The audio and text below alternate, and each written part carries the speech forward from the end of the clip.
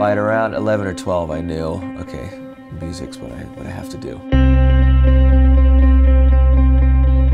Me being the kind of person I am, it's like I'll rest when I'm dead. And to me, that's where my passion toward the things I do comes from.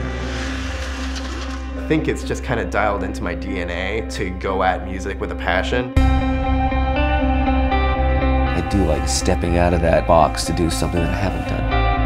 Whether you're playing in front of thousands of people or whether you're playing in front of 10 people, once you do it so many days, you kind of want to come home and maybe focus on some other parts of your life.